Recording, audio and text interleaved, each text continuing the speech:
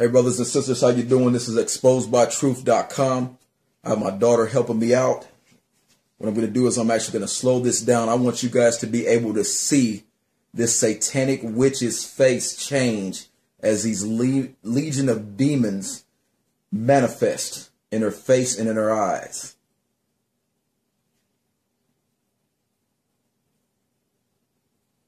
So what I'm going to do is I'm going to move it along slowly. You'll see the evil, demonic expressions in her face,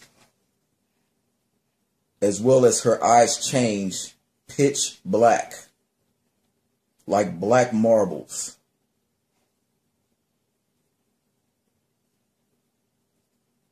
You'll see her tongue change. Her tongue is going to be filled with a tremendous amount of veins.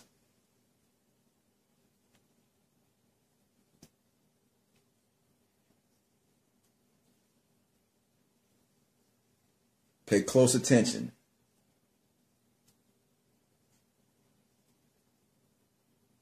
Got it.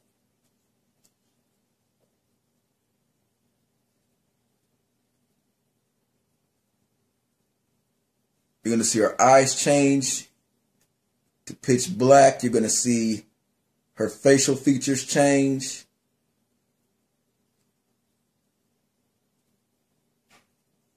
Look at her neck.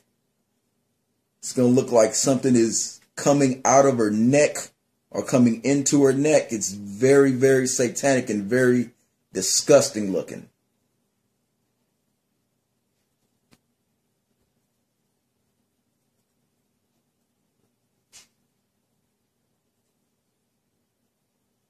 It's so quick, she's morphing.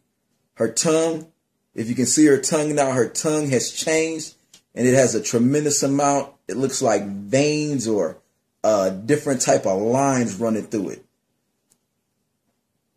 I truly believe as the Lord said in the word that he's going to put enmity between the seed of Satan and the seed of the woman.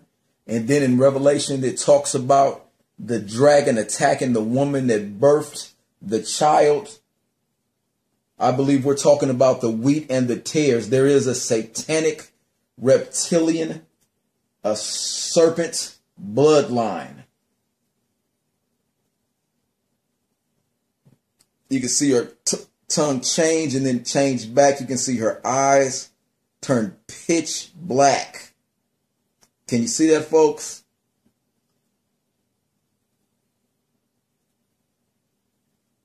Beyonce has officially left the building.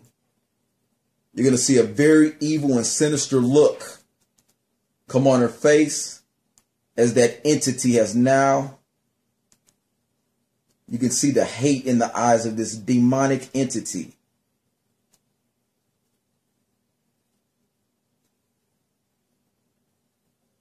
Folks, this is not a joke.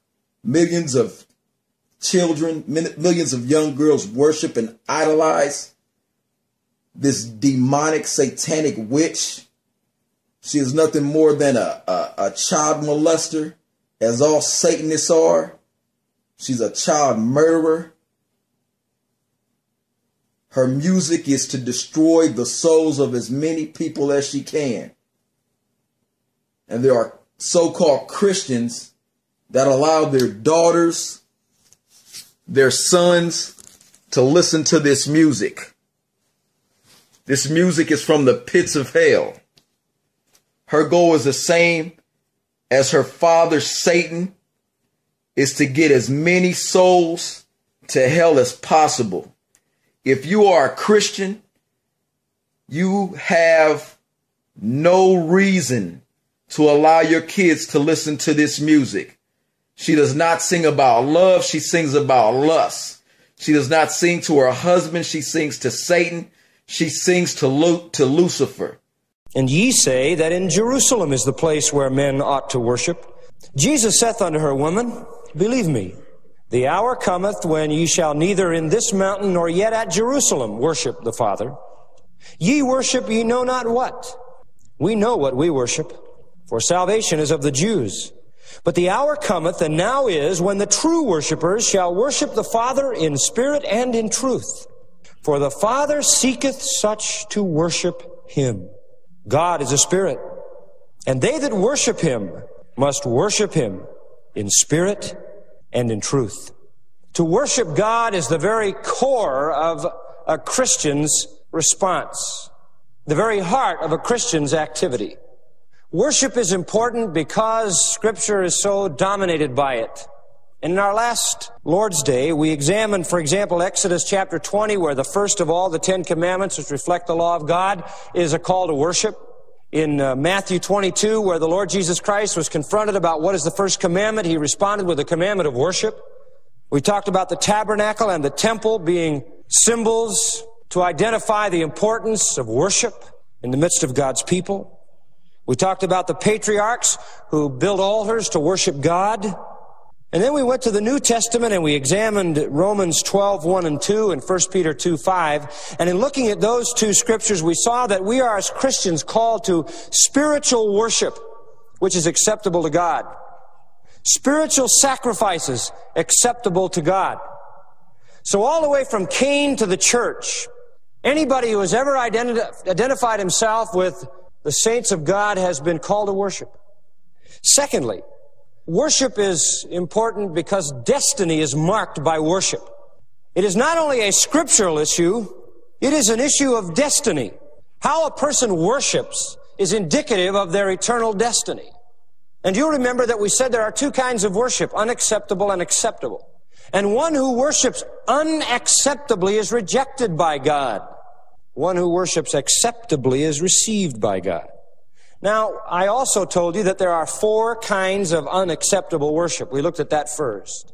To worship a false God, to worship the true God in a wrong form, to worship the true God in a self-styled manner, or to worship the true God in a wrong attitude, all of those are wrong. Cain worshiped the true God, but he had been told to bring an animal sacrifice, and when he brought the fruit of the ground, he was working toward worship in a wrong, self-styled manner, and it was unacceptable. And then as we saw last time in Malachi chapter 1 and Amos chapter 5 and Hosea chapter 6 and Isaiah chapter 1, the people of Israel very often worship God in the right form and the right manner, but with a wrong attitude. And that was equally unacceptable. Unacceptable worship reflects a destiny apart from God. In 1717, there was a group that began, for all intents and purposes, known as the Masonic Lodge, or the Masons. While they do not wish to be known as a religion, they are, in fact, by definition, clearly a religion. And they are, I think, a classic illustration of unacceptable worship. The Iowa Quarterly Bulletin, way back in April of 1917, says this, and this is their own publication, quote, Masonry is a divinely appointed institution designed to draw men nearer to God, to give them a clearer conception of their proper relationship to God as their heavenly Father, to men as their brethren and the ultimate destiny of the human soul. End quote. Now that is a religion. Anything that says it's a divinely appointed institution, designed to draw men nearer to God, to give them a clearer conception of their proper relationship to God, to men and the ultimate destiny of their human soul, that's a religion. Masonry is a religion, even though they don't want to admit it. Now, do they worship God? They say they do. They say they worship God. They say they worship the true God in the true form, in the true manner, and with the true attitude. Albert Pike, who has been called by fellow Masons one of the most distinguished Masons the Western world has ever produced, has written one of their very important books called Morals and Dogmas. It's so important that it appears in their edition of the Bible. They have their own Bible known as the Hertel's Bible. And this is what he has written. Masonry reverences all the great reformers. It sees in Moses the lawgiver of the Jews, in Confucius and Zoroaster, in Jesus of Nazareth and in the Arabian iconoclast, great teachers of morality and eminent reformers, if no more, and allows every brother of the order to assign to each such higher and even divine character as his creed and truth require. We do not undervalue the importance of any truth. We utter no word that can be deemed irreverent by anyone of any faith. We do not tell a Muslim that it is only important for him to believe that there is but one God and wholly unessential whether Muhammad was his prophet. We do not tell the Hebrew that the Messiah whom he expects was born in Bethlehem nearly 2,000 years ago and that he is a heretic because he will not so believe. And as little do we tell the sincere Christian that Jesus of Nazareth was but a man like us or his history, but the unreal revival of an older legend. To do either is beyond our jurisdiction. Masonry of no one age belongs to all time. Of no one religion, it finds its great truths in all. To every Mason there is a God, one supreme, infinite in goodness, wisdom, foresight, justice, and benevolence, creator, disposer, and preserver of all things. How or by what intermediates he creates and acts, and in what way he unfolds and manifests himself, Masonry leaves to creeds and religions to inquire. In other words, they say they believe in God, but you can decide who he is, what he wants, and how to get to it.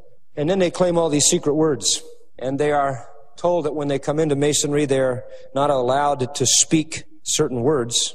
And if you've known a Mason, you may have known the, the fact that he would not reveal those words, but I would like to reveal them this morning.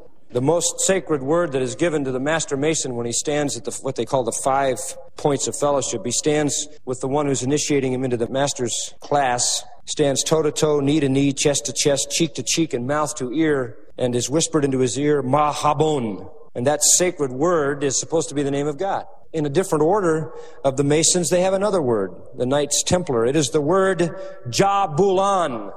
And they say it is the divine trinity, Jah from Jehovah, Bul from Baal, and An from the name of the Egyptian sun god. Pike, in his Morals and Dogmas, further says, to achieve salvation, the Mason must first attain a solid conviction founded upon reason that he has within himself a spiritual nature, a soul that is not to die when the body is dissolved, but is to continue to exist and advance toward perfection through all the ages of eternity, and to see more and more clearly as it draws nearer unto God the light of the divine presence. End quote. That's hocus pocus, meaning nothing, frankly. In the Mason's Bible, it says, In the opening of the lodge, the great architect of the universe must be worshiped. That's what they say. The great architect of the universe must be worshiped. And then Pike says, at the Masonic altar, the Christian, the Hebrew, the Muslim, the Brahmin, and the followers of Confucius and Zoroaster can assemble as brethren and unite in prayer to the one God. The chaplain of the Masonic Lodge who prays as the voice of the lodge does not pray in the name of the carpenter of Nazareth or the name of Jehovah or the name of Allah. He prays to the grand artificer or the great architect of the universe. Under that title, men of all faiths may find each other his own deity. Failure to mention any deity by name is not denial, but merely the practice of a gracious courtesy so that each man for whom prayer is offered can hear the name of his own deity in the all-inclusive title of great architect. End quote. Well, I think you understand that's enough. That's enough frankly, to sicken anyone, because that's a satanic false religion. It is unacceptable. You may think you're worshiping God, but you're not. It does no good at all to worship God as you imagine Him to be. Unacceptable worship. It may be the flagrant, violent worship of money. It may be the creation of false deities. Or it may be you're worshiping supposedly the true God, but in an unacceptable manner. And thus you're not worshiping Him at all. Your destiny is determined by acceptable worship. You're marked out as a believer by acceptable worship. The goal of salvation is to create true worshipers. Alluded to in one of my earlier messages that Psalm 24, verse 3 to 6, is perhaps the most lovely Old Testament picture of an acceptable worshiper. It says, Who shall ascend into the hill of the Lord? Or who shall stand in his holy place? Who has a right to go into God's presence? Who has a right to come to God? Who has a right to draw near? He who hath clean hands and a pure heart. You can't go there unless you're washed. And he who has not lifted up his soul unto vanity, nor sworn deceitfully, he shall receive the blessing from the Lord and righteousness from the God of his salvation. This is the generation of them that seek him. The true seekers are those with pure hearts, clean hands, honest motives, the pure, the righteous, and the holy. Now, how can you become like that? You have to be redeemed. So redemption then is to create true worshipers who worship acceptably to God. Along slowly, you'll see the evil, demonic expressions in her face as well as her eyes change pitch black, like black marbles.